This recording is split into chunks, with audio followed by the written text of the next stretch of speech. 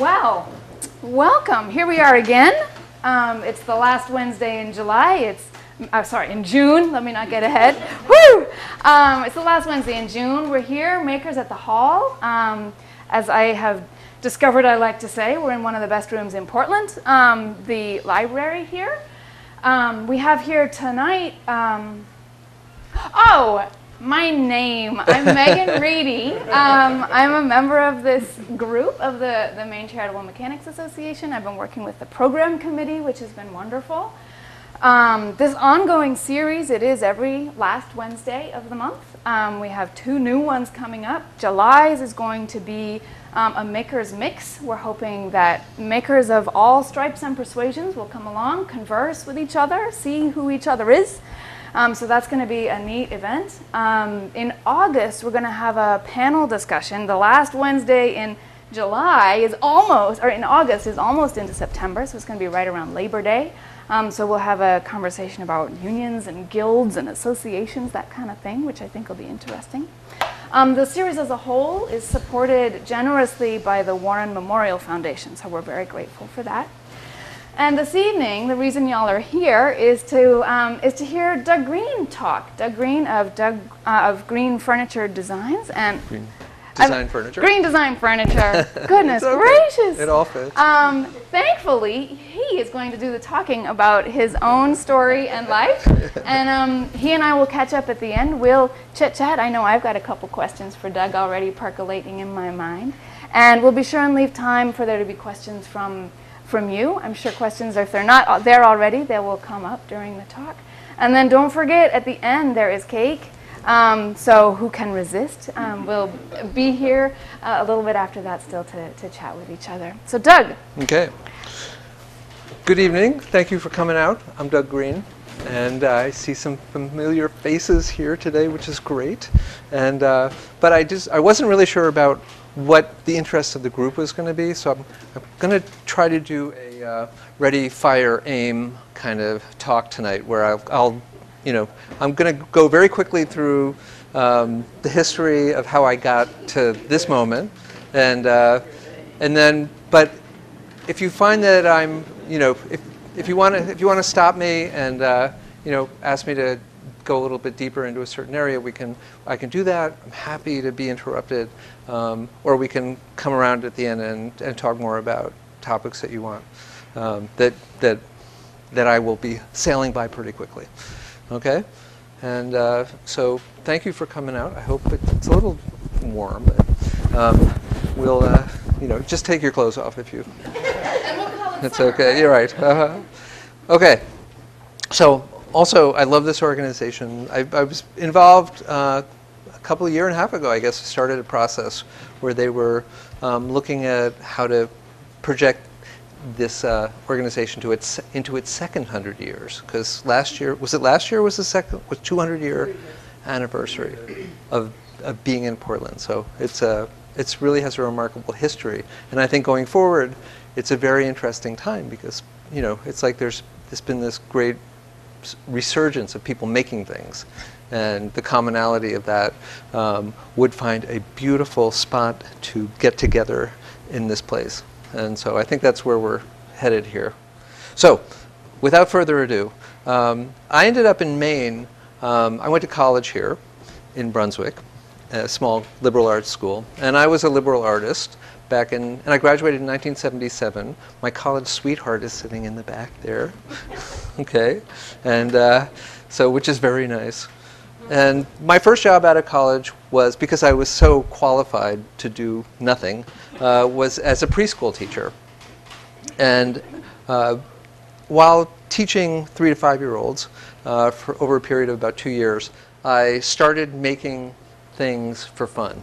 And I, my first tools were a Dremel table saw that was on the coffee table in the living room. And uh, so every night I'd be, there'd be this terrible Dremel and grinding sounds coming out of the living room. And so as things go, um, I got bigger tools. I actually went to friends' shops to, uh, to borrow tools and to make things bigger and bigger. So that, that's one of the first, you know, so the, the scale of things got bigger and bigger. That's a blanket chest, which I think you still have. That's right. Um, and this was my first commission, uh, a harvest table, um, which I think it took me a couple, maybe two or three weeks to make with, with zero tools. Um, but I made like 20 times the amount I would have made being a preschool teacher at the same time. So um, I quickly ditched preschool teaching and rented a little space. And I tried to find an apprenticeship and um, to learn more, and it was really hard. It was like I had no experience, so I did the most logical thing was start my own business. And uh, so I opened up a little shop. I rented some space in the back of somebody else's shop, and I put myself through an apprenticeship. And I just built a series of pieces in escalating difficulties and went and visited people and read books, and it was kind of a uh, self-imposed, uh, very quick education. And after a couple of years, I was making pieces like that, um, that table there. That first shop was in Topsham, Maine. And after about two or three years doing that, I got a visit from Tom Moser, who was looking for a cabinet maker um, for his shop, which back then was about 12 years old, I think, or I was 10 or 12 years old. And so I became one of five cabinet makers there, where we were still making stuff by hand. It was a very um, 18th century shop in a way. And uh, we were doing shaker furniture. And one of the things that, after about six months, the uh, manager of the shop came to me and said, he, he couldn't understand it because I was the greenest guy there, and, uh, but I had become the most efficient guy. I was, I was producing more furniture than anybody else. And it turns out I have this natural inclination to try to figure out how to not waste time. And so I, and so I'm, a, I'm kind of a process guy. If like I have a stack of dishes, I'm going to try to figure out the fastest way, you know, what the most methodical way of getting everything into the drainer so I can go, you know, watch television or something. And so, um, so I'd started inventing new processes there. And they're very primitive, but um, after six months, um, I was, I was, um, I wasn't making better furniture than the master craftsman, but I was just not wasting time. I kind of had everything kind of lined up always. And somebody told me that what I was doing was called industrial design. And I'd never heard of industrial design before. And so I um, started doing some research, and it turns out industrial design um, was what I was born to do. And uh, so it's basically what's, what's different between craft production and industrial design is craft production is when the, the producer is, or the artist is making the, the product. And he's kind of making it as he goes. And that's kind of how the plan happens, one at a time usually. And in industrial design, it's about designing stuff that's made in quantities by somebody else. And so the, the focus is on um, a lot of things that are um, that you have to spend time with when you're making tens of thousands of, of pieces of things. So it's, a, it's very different than making one piece because when you're making one piece, you're not concerned with how, how long it takes to make it, for example. And so when I'm making 10,000 pieces, then you're worried about, um, you know, efficiency, profitability. You're worried about, um, you know, whether the ergonomics are good, the concept is good. So, um, so I ended up after uh, six months after that, I, after a year, I left Moser, and oh, I was going to show you some. Uh, this is Fra Raymond Loewy. Uh, who was kind of the granddaddy of American industrial design. So he was he kind of came to America in, in the 1930s. Um, he was born in France, but he basically was the guy who did a lot of recognizable design and took design from basically um, the primitive method of design is that the engineers would kind of the guys you know would, design would kind of come out of a haphazard kind of process of the guys who made things. And this was the guy who actually started with a concept for a, new idea for a locomotive a new look for a locomotive. And uh, so you know, and so the first one is total fantasy, and the second one starts to get more definition, and then it ends up being pretty close to what finally gets produced. And so it's kind of a little, just a sketch of what the industrial design process looks like. He was responsible for consumer products. He did branding too. Um, a lot of famous brands were his. Uh, Lucky Strike, Pan Am, um, things like that are still around today. And so I ended up leaving Maine I enrolled at Pratt Institute in Brooklyn, New York, and went to the graduate program there, and where I started to, to think like a designer. And so it was a really great program. uh, for me because it was um, the, the, the, the best thing I learned there was how to be patient with the process. Because as a craftsman, I learned how um, to get into the shop and make something very efficiently. Um, when you're designing, you have to live in your notebook for a very long time thinking about what it is and drawing it and making models. And this the desire to kind of close in on an idea and get to get to work get to making it um, is antithetical to actually inventing something to actually um, innovating. Because uh, you know it's the every like 99% of the people have the first same idea. And the designer is the person that goes through a hundred hundreds of iterations of it and develops it and ask, continues asking deeper problems and stuff. So um, I had, uh, that was the biggest thing that happened to me in graduate school was learning how to, to live in that, in that area of uncertainty for a long time. So this is, this, you know, basically projects went from imagining a new kind of gas station delivery system to, this was a three position children's chair um, that never got manufactured, but someday. Um, after I finished school, I went, I did work for a variety of design firms. Um, I was doing point of purchase design for, you know, magic markers, which is basically presentation cases in stores and, and you know, the look of, of Pentels. And then I went to work for a company that did architectural lighting. And also they, they did the, and I became an architectural lighting designer, um, doing the design for large public buildings, museums, train stations, churches. Um, back then in the uh, mid 80s, it was like mega cathedrals, you know, the, the big, um, what do you call them? The, those huge um, evangelical mega churches, mega churches yeah. Um, which had studio lighting, Olympic sized baptismal pools, and things like that. And so, um, and then I quit and to go freelance. And then I was hired to design a line of light fixtures, which were, these were the most technical things I've ever done, um, which were all extruded aluminum to, um, they were designed to throw light in, in very specific patterns into big spaces. And so those are still being produced today, which is a nice thing. And on the side, I got involved in theater and off-Broadway theater and had a lot of fun doing that. That was kind of my second job.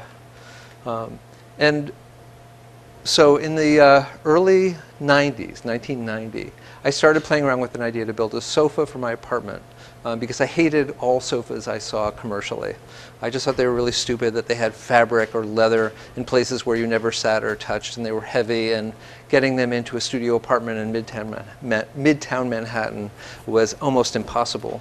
So, um, so I started imagining what would the simplest sofa I could, I could do.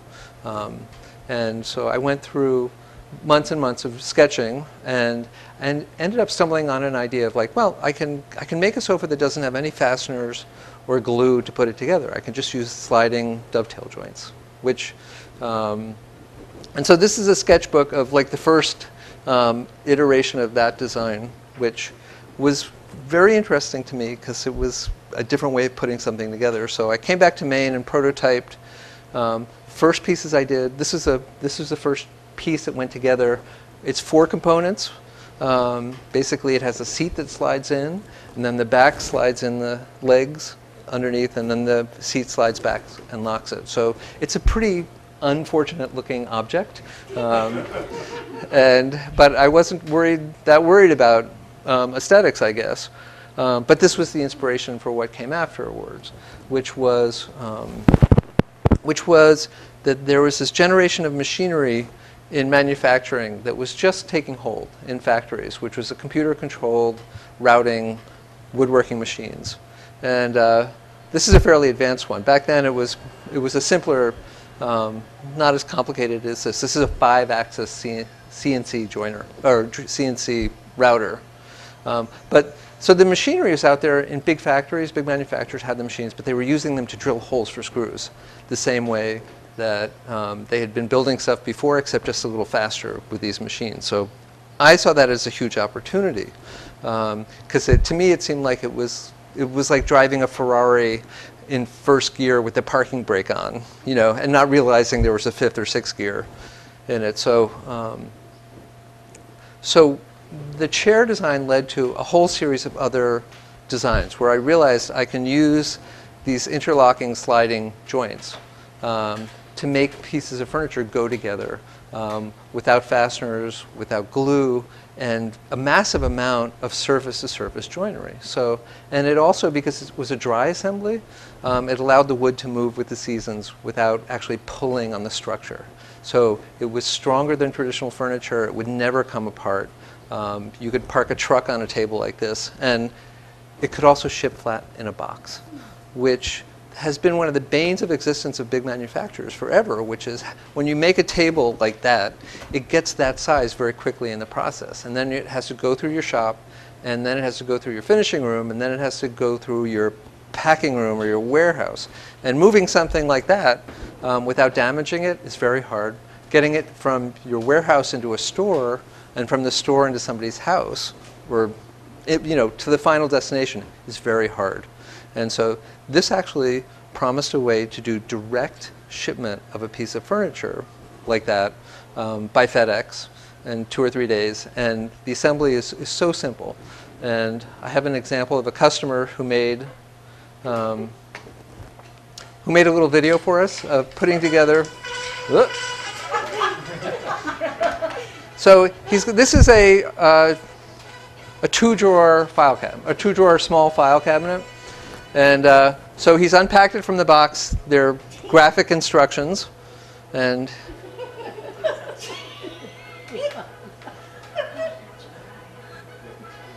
so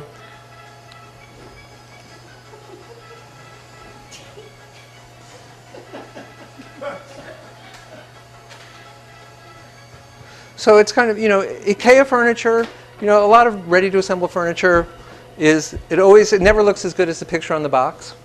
You know, it's a disappointment. And so this is, uh, was a breakthrough in terms of that I could make solid wood, really beautiful furniture um, that had all the efficiencies of ready to assemble furniture.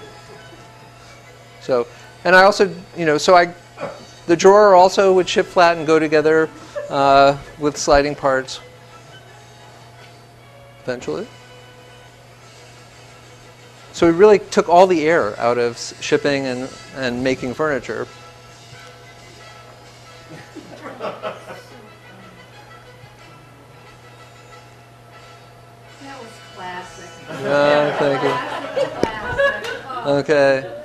So my, my, as an industrial designer, the way I make a living is by selling ideas. I sell intellectual property. So I got a really wonderful patent lawyer who lived in Warren, Maine, uh, who is in his 80s. He was kind of in his in his semi-retirement, but he came out to help me um, apply for a patent um, so I could go out and try to sell the license to this joinery system because I thought this was a very big idea. And in May of 1993, I introduced it at um, the International Contemporary Furniture Show in New York City, um, with the idea not of selling furniture, but of selling ideas and getting publicity so I could get entrance. And so that I did, actually. We were very successful um, getting in the press, and op it opened a lot of doors. And I spent the next seven or eight months trying to convince owners of big, big, big furniture companies that they needed to rent my design. And they would have this totally new way of reaching their customers. And uh, totally failed. Uh, so I ended up, uh, I, you know, I, I, hit a point where I had to make a decision whether I was going to drop it and go back to New York and figure something out or keep going. So I decided, well, I'll just start a little company. It'll be a laboratory. I'll kind of do it in a microcosmic way and you know, continue adding value to the idea and then I'll sell. I'll sell the idea. So I didn't want to buy a CNC router um, because they cost about a quarter million dollars plus, you know, just the, it would, um, I was never interested in growing a big business. I was really kind of focused on licensing. So we had to figure out ways of making the furniture without the technology that it was designed for. So I, I basically came up with an artisan approach to manufacturing. Um, which um, was basically using this, the basic the principles, except we didn't have automated machines. I had people pushing um, pushing jigs and things through. So so one of the things that I one of the breakthroughs is that um, the, to make a, a 20, a 36 inch sliding dovetail, you know, um, usually dovetails are in drawers. And they, there is a French dovetail uh, traditionally, which was a way to attach a tabletop to a base. And they are, cabinet makers hate them because they're very difficult because uh, you have this long friction joint and it's, uh, it's a very difficult thing to get right. And so, um, so I had to figure out a way to take the, um, the tolerances, to make the dovetails fit in a way that was strong enough um, and tight enough that we could do it in a production setting. And uh, so I designed a machine that would cut the male dovetails uh, very precisely. And then we took this, this machine, which is called an inverted pin router, and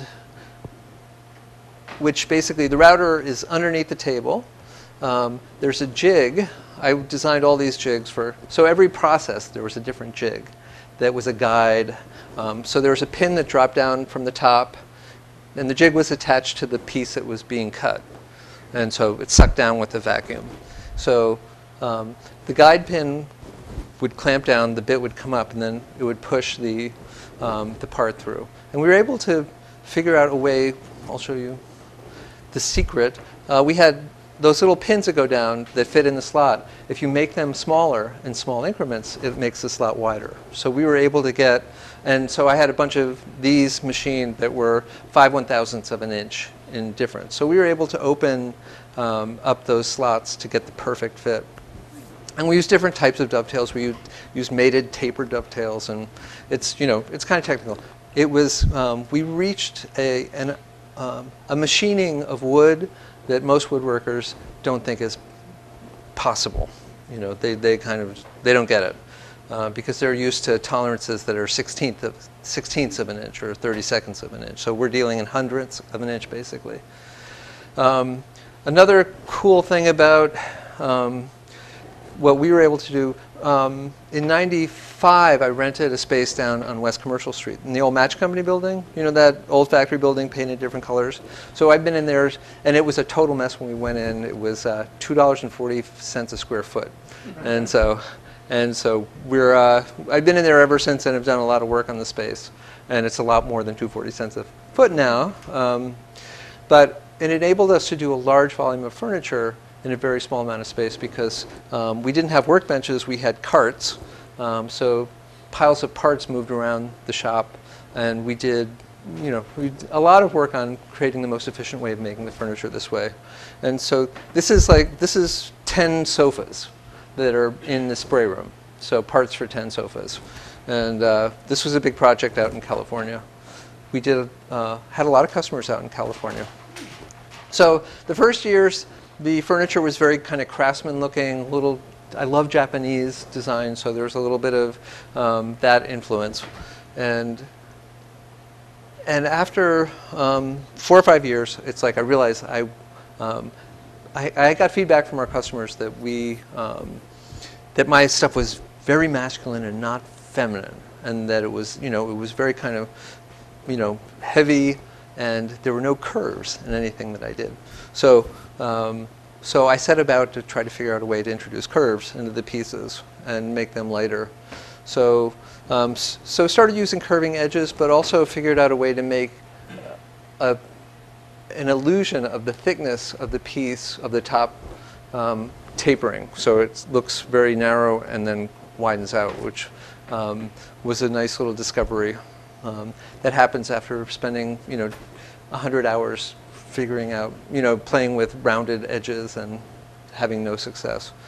Um, so this was a cool piece. Uh, the largest piece we had done up to that point, um, which I've assembled that piece on the third floor of an 1800s brownstone in, uh, in Boston because I can take it up the stairs one piece, one component at a time and put it together myself. So there are things that you can do with this kind of furniture that, and the other cool thing is that when the pieces put together, the joinery is invisible. You don't see, it's not like a puzzle kit where you see tabs and slots and things like that. And uh, so then a third series got even more curvaceous. I started playing more without, you know, um, putting curves into the outlines and um, playing with that.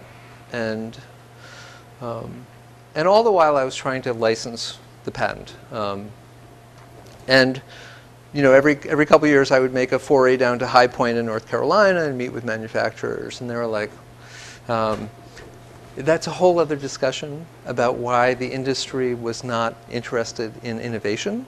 Um, but leave it to say that most of that industry has moved to China now in terms of manufacturing, or died on the on the on the vine because they, because um, guys, it's just private equity. It's like, I, I can rant about that for a long time, um, but they don't like to buy. They don't like to invest in overhead, and so to pay a five percent royalty to a, for a, a brilliant idea, they won't do it because you know got some jerk designer is going to be making a lot of money if they're successful.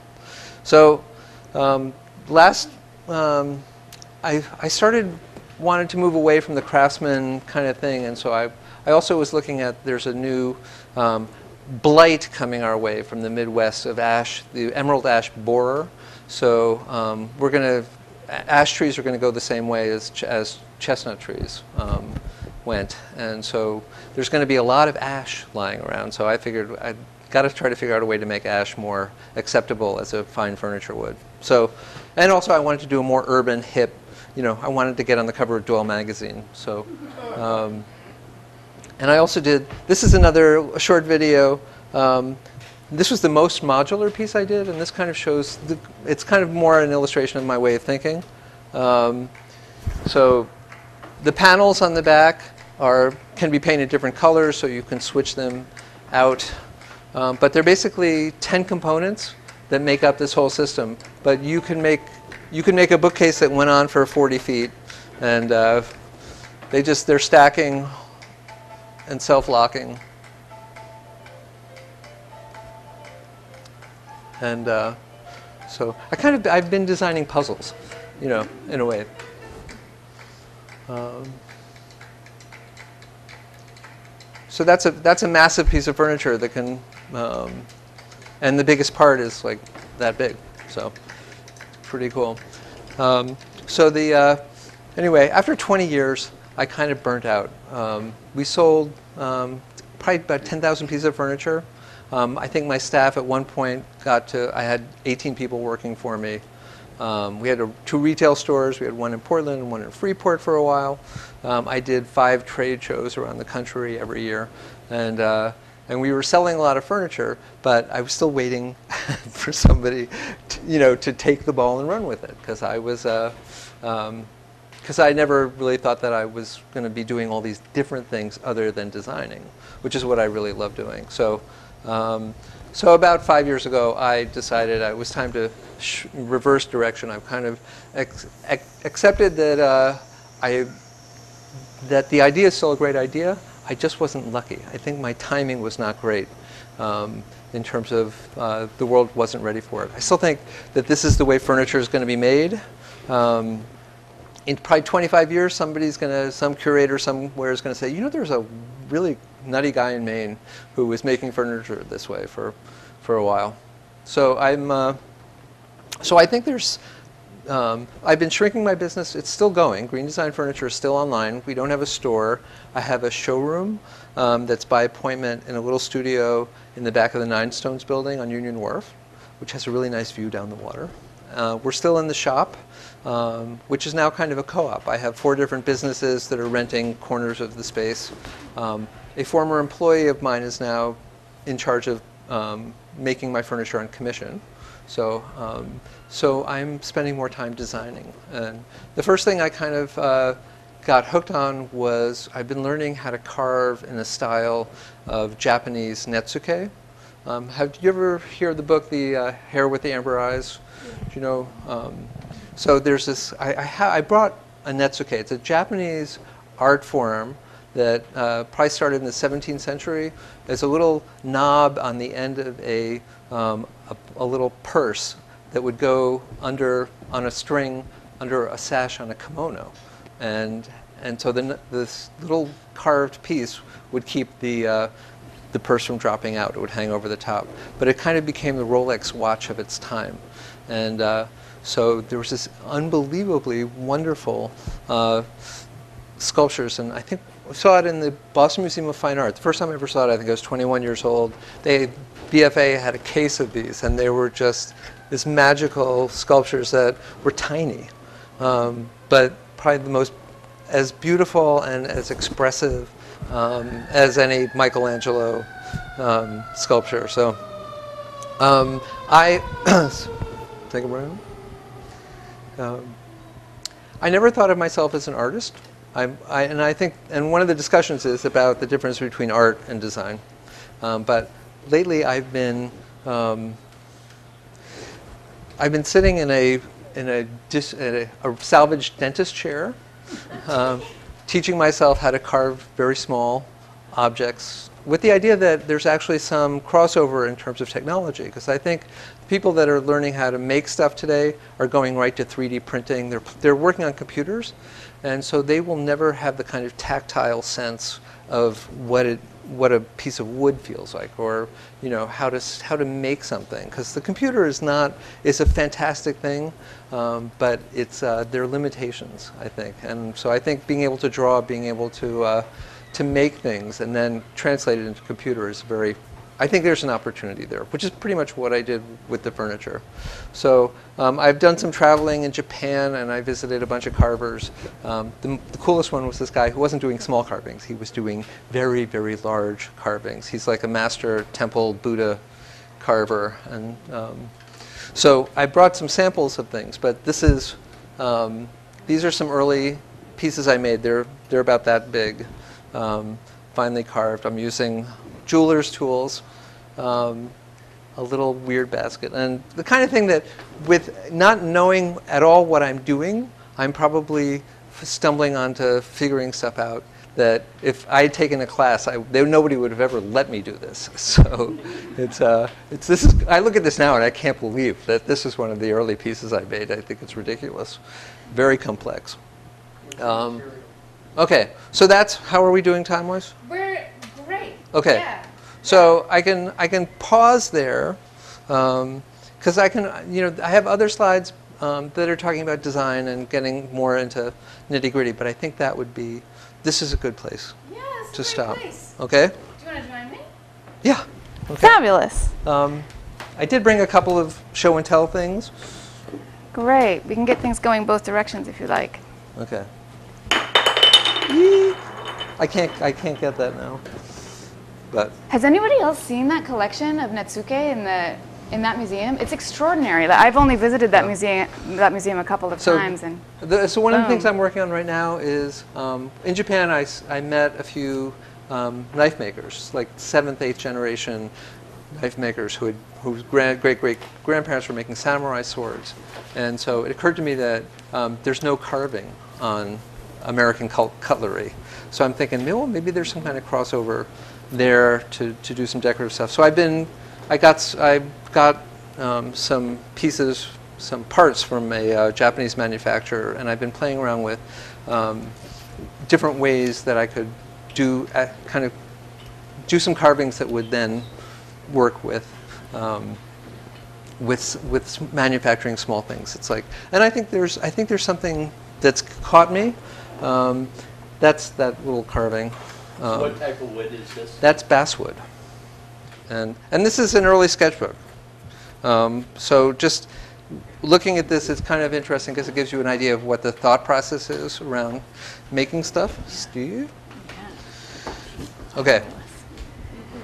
Great. Well, thanks, Doug. Okay. Yeah, and I've been trying to think. Like hearing you speak, I feel like a few things we keep circling back through, mm-hmm. um, and I feel like if I've been hearing you right, I hear there's obviously people, there's you or a craftsman, there's some person involved, and there are ideas involved, and then there's machinery at some point. Mm-hmm.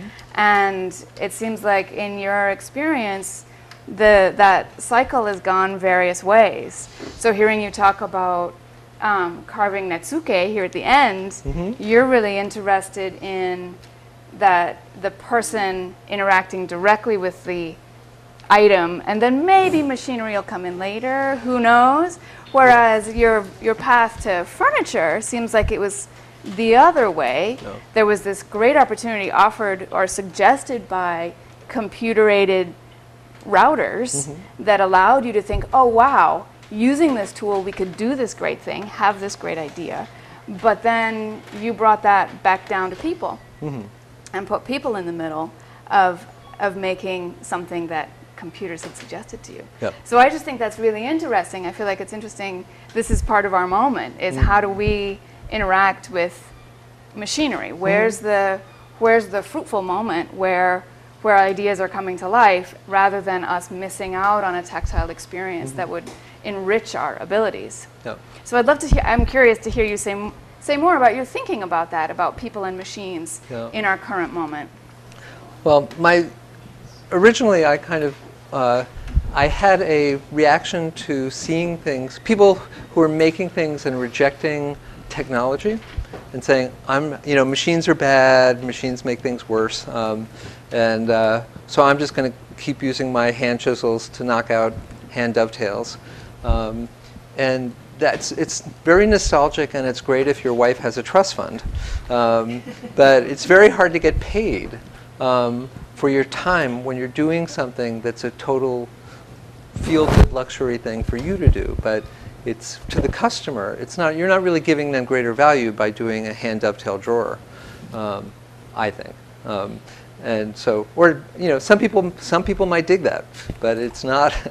to me, that is um, an indulgence when there's technology available where you can make a beautiful dovetail drawer um, with a router. Oh, I'm sorry, I'm playing with the mic. um, and so, um, so I, you know, and there's this whole world of furniture making that is called studio furniture, where people go to programs at RISD or, you know, Rochester, and learn how to make incredibly beautiful, well-crafted pieces of art. They're sculpture, you know. So a dining table that cost twenty-five thousand dollars that took some guy, you know, six months to make out of it, some exotic wood, um, and but um, and so the amount of time he spent crafting it was probably much much longer than the time he spent thinking about what it was going to look like or how he was going to make it because he only had to make it once. Um, if he had to, um, and so anyway, it just it just when there's machinery out there that can do a better job than the human hand, I don't see why um, why you shouldn't avail yourself of that of technology. But that's and that's a different thing, right? I mean, if, if I'm hearing you right, that's a different thing than than this Netsuke moment. Right. Well, I'm, you know, I'm, you know, the same way that I was a craftsman making furniture that led me to this new technology. Um, I feel like I have to, um, until I really learn how to make things at this tiny scale Yeah. um, and to do patterns or whatever. Um, so I'm, I'm in the fulminating um, part right now where I'm just learning. And so I can, and at some point it's going to get into my sensibility that um, you know I don't know. I mean, I it's kind of like it's something is pulling me to do this, and I think it may lead me to what the next thing is, the next realization. But um, the only way that happens is if you're sitting in the chair for for a thousand hours, and uh, you know you have to be available because uh, those things.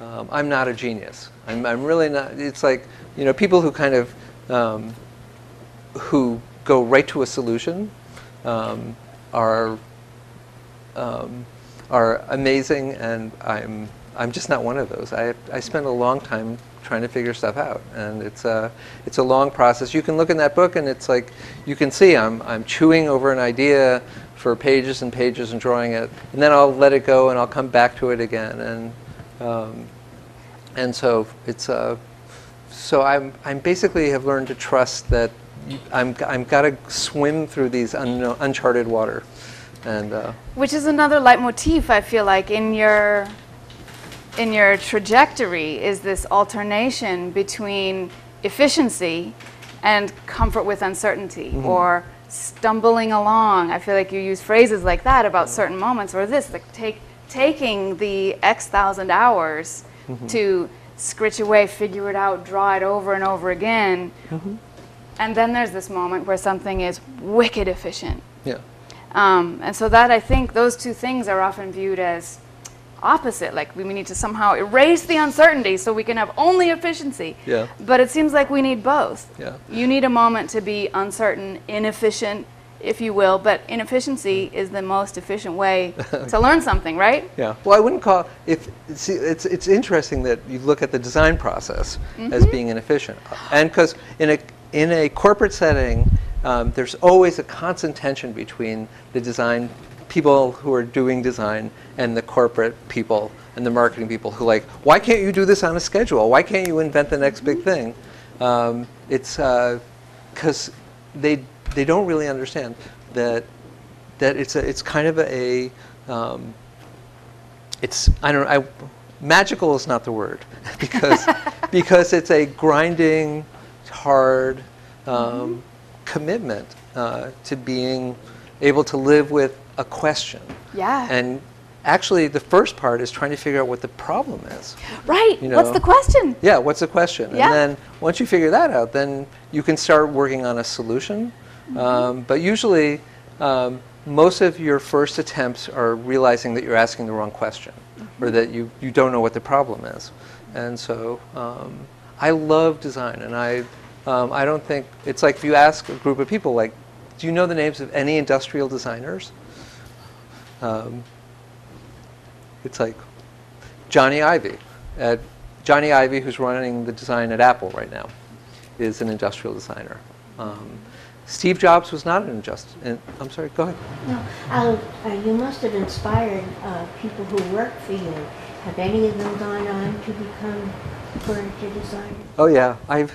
Um, yeah, Evan Blaney, who I, I, I was hoping he'd be here, but uh, um, John. Um, I'd say. I'd say, yeah, it was like one of the things that was frustrating was that I attracted, I mean, one of the reasons why I started this business in Maine instead of New York City was one, because I could afford to do it here. I couldn't do it in New York. The other was that there was this incredible um, kind of um, spirit of, of, of young people that wanted to come learn how to, how to do really cool stuff and make stuff. And so, um, so I was constantly hiring really great, talented people who had very little experience, spending two years training them, and then they would leave and go start their own business, um, or you know, do do something else. But that was kind of, uh, um, which was very frustrating because the, when you're training them, they're not really being productive, and then just at the point where they're they're going to start being able to make stuff efficiently is when they tell you they're going to leave, and it's kind of heartbreaking. Were there any women? Yes. too? Yes. Uh huh. Yeah. A bunch of women. woodworkers. Yep. Um, let's see. Uh, the, a lot, it's interesting because um, a lot of the, the women that went to work, that came to work for me, ended up in other fields, um, but doing really interesting things as well. I don't, I'm not sure if any uh, stayed with craft. Is anybody using your idea that you patented in a limited shop somewhere with the dovetails and things like that? You know, the, of? it took me like three years to figure out the engineering to do this. Um, and so um, it would, the patent is expired at the end of this year.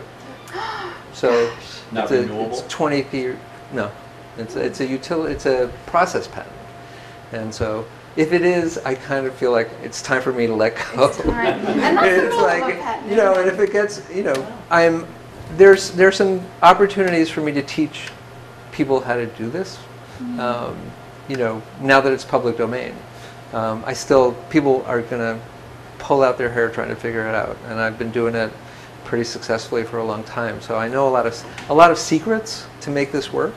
It's, it's, to make something, it's, one of the things I loved about this idea is it's very simple. It's actually when you see the pieces going together, you're going, well, yeah, what's, what's the big deal? To make something that simple is really hard. It's really hard um, to get it, um, you know, to make furniture that has no hardware, um, to make it fit so it just, you know, so it's just right every time. Um, It's the Chinese uh, manufacturers not doing it or whatever. Nope, no. We've you know, it's interesting because I've had a couple of manufacturers overseas that, that literally copied and pasted my catalog and we're selling pieces. I got a call one day from a customer of mine said, I just saw one of your pieces at Pier 1, you know, and I went down and there's this piece made out of some jungle wood, uh, very poorly. They didn't use the joinery, they, they took the look of the piece.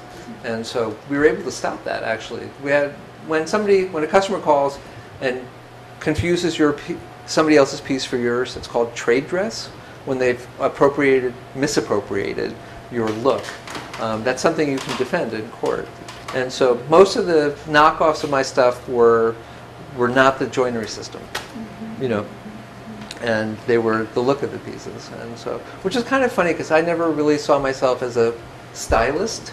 You know, most of my designs were, um, you know, I didn't. In, in furniture, American furniture companies, they come out with a new line of furniture every six months. They do they do a show in High Point, North Carolina, and they've got to come out with the next thing is French Provincial or Eskimo or you know whatever the next thing is, and it's ridiculous because it's it took me there were you know I broke I broke my career into three phases, um, and that was 20 years worth of work and probably there I you know 200 designs maybe I came up with, and I was um, but it wasn't like every six months. We did. I did a catalog every four years, and I brought. Actually, there are some catalogs on the table there, which is the last catalog I will ever print. Um, there's still. I still have thousands of copies left. So, So take several. Don't. Yeah. Don't. Don't feel bashful. Um, okay. Great. Are there other questions from you guys? Questions that you're curious about? Is, is there not any way that you can convince the people at IKEA to make a better quality product? I tried. They were. I tried. You know, and I thought. that stuff, and it's crap. Yeah. Oh, it's terrible. And uh, you know, and the, my pitch to to IKEA was, um, you're making stuff that is landfill. It's just that it spends four or five years as furniture, you know, as as a prop. Um, before you see it on the sidewalk because people because all those fasteners you can't get them apart and so you see them broken down on the sidewalk and i said if you made it without any fasteners um, it could all go into the same you know container or you can make it so you're not designing it for disassembly. You're not it's actually it's got a much longer life in landfill than it does as a functional object. So they should be designing it for that. And so i tried. Um, i tried with L.L. Bean you know and uh, i kept running into the same problem where they um, companies like pottery barn L.L. Bean love, love the idea but they didn't want to manufacture it. They're not manufacturers. They buy from vendors. And i didn't want to be a vendor to Pottery Barn because I knew that, you know, if I built my company up to make massive amounts of furniture, then in 10 years they would be saying, well, there's a company in China that can do it for $50 less, and you know, and uh, what are you going to do about it? And they would drop you like a hot rock, which happened to a bunch of friends of mine. And so um, I didn't want to be. I wanted to get the royalty. I wanted to get that that little percentage of everything that got sold. And so um, I had a lot of fun.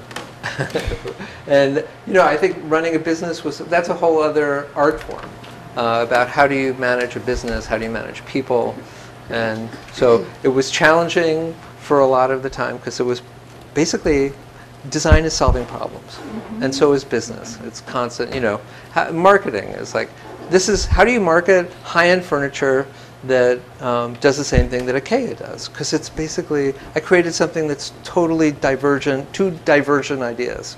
Um, well, there's a word for that. A paradox. Well, paradoxical or um, And it, well, it comes out in the phrase that you, that you use on your website because it's manufactured, but it's artisan. Mm-hmm. Um, and so putting those two things together is pretty mind bending. It's yeah. neat. Well, that was kind of because I, I I never wanted to own the you know the quarter million dollar machines. Because once you own those machines, they have to be running at least 12 or 13 hours a day, and then it's like then I mean I was I was not getting much sleep having a retail store, and uh, so anyway it's uh, that that would have been that would have changed the whole you know and it could have been one of those stupid mistakes that I made along the way that if I had done it early on I might be in a completely different place right now. You seem pretty content though. Maybe it's okay to be where you are. I yeah. I mean, it was you know there's there's a, letting go is really hard. I didn't you know there's this uh, I have this image of Wile E. Coyote, um, you know, where he's gone off over the edge of the cliff, and, but he doesn't realize it. So I think that was like the last the last four or five years of my, you know, of running, having all these people in the stores and all this stuff. I was running around and and I had gone way past my time, but I didn't know how to stop. You know, I just had to carry it forward. So it was painful. Gosh. Yes. Wow. I think your furniture is so recognizable that I always know when it's you, when I see it. And it really stands out from so many other things. And really, great job. Fantastic. Thank you. You can find a, a bunch of it's in the Arabica Coffee Shop on Commercial Street now. Because when I closed my showroom, um, they were just opening their new store. So I said, "Hey, you want you want to borrow some furniture?" so I know it. yeah, thank you. It's very sweet. And uh, any So other? I have yeah. a question about the early time when you were starting up in Yeah. Portland, came to Portland to start up. Um, what things helped you along your way, and what things got in your way starting up a business like yours here? Um, great employees helped me, and also um, employees became the hardest part of running the business. You know, managing people, and uh, so yeah, I mean, there were people that made huge contributions and helped me. Um, you know, there was a point where the company was like five or six years old, um, where I completely had to change the manufacturing model. We, I had based this model on, I was looking at one thing, which is how, um, how many hours does it take to make this dining table? And so we were, we were making this dining table, um, and it took like 12 hours to make it from start to finishing, uh, ready, ready to ship. And so, so for five years, we tried to figure out, well, how do we get the time down? So we ended up figuring out we could do make 12 tables at a time, even though we'd only sold two or three. Um, we could box, you know, take the seven that we hadn't made, put it in a shelf, and, and when somebody ordered it, we could sell it as fast as we could. And um, so we got the time down to like six hours per table, and it looked great. Except that after a couple of years, I had a quarter million dollars in inventory sitting on shelves, and and I was losing money because we were spending time making furniture that we hadn't sold, and so we had to learn a method of moving individual pieces very quickly through the shop, um, which scared the hell out of all the craftsmen in the shop. Gosh. And because they thought, you know, for them it was like, you know, it was a whole different type of organiza- organizational way to make the furniture. And so that took really great people um, to help me fight the people that were resisting change, you know, in my own organization. And Trade shows help that? Tra- yeah, well, we we did advertise. Yeah, we did advertising nationally in the New York Times, Sunday New York Times Magazine, and New Yorker Magazine, and and we were always experimenting with Architectural Digest and different types of home furnishing magazines. But um, really, we built the database by. Um, by people responding to our ads, and then when we did trade shows in different parts of the country, we would call them and say, "Look, we're going to be here. What do you want us to bring?" And so, um, so it, I think over half, historically, over half of our furniture went to the West Coast, um, or west of the Mason-Dixon line, and uh, um, and then and probably, you know, two thirds of that went to Northern California and the Pacific Northwest. Um, which is very popular in that part of the world, and not not a big market in Maine. But so now we're basically I'm the guy answering the phone. Uh, sorry, uh, and and I do all the customer contact. It's a much smaller group. I've stopped advertising. I basically am making myself more difficult to get to. Um, and once in a while, I will send out an email or I'll post something on the company Facebook page. But I'm, in a way, I'm, I'm kind of, I don't, I'm not um, I've got myself accustomed to the idea that there's going to be another chapter after this, which means that I'm ready to let go. And so I'm not sure how how long I'm going to keep doing this. I'm I'm actually working on a. Um, I think I've, I may have found a, somebody um, who can make my furniture. Another former employee who's in a much better, um, who's in a whose business is growing really nicely, and so that might be a better relationship for me than than the one I have now, and or you know, it's like, and but I'm trying to think is like, do I want to get pulled back in, um, or should I just let it go? And uh, you know, it's very self-indulgent. I'm I'm kind of um, spoiled because I like. I'm, I'm much happier. I'm much more creative when I'm happy. You know. Note to know, self, yes. And yeah, and, and I found that all the stress, um, and and you know, it was like with the economy and and all the money migrating to the one percenters. You know, it was like our business. We used to have school teachers who bought the furniture. You know, and they'd have to save for it. But man, it's like after 2000, um, after 2001 actually, and it was before September 11th. Um, something was up, and it was like you know, so we had fewer people buying furni- buying bigger orders of furniture. You know, so we were selling for the same amount of furniture, but it was like you had to work much harder because those people were harder to find and and not as um, I don't know. It was just a different mindset. And so, um, yeah. So, and we were. This is the thing about I the furniture that was designed to be sold in Pottery Barn was actually a way to mass produce high quality furniture because there's so much goddamn ugly furniture made being man, mass produced now. And so this would be a way to get reasonably priced furniture into um, into people's hands that that would be durable, would be heirloom quality that you could pass down for generations, um, easily repairable. I mean, it was like it was it was not the furniture that I'm selling now. I'm, I'm selling five thousand dollar dining tables, um, and I think it's awful. But when you're making things one at a time in an artisan shop, mm-hmm. it's very expensive. And so if I had the same table could be made by for Pottery Barn to sell for eighteen hundred dollars. Thank you so much. No, it's a pleasure. It's been such a pleasure. Thank you.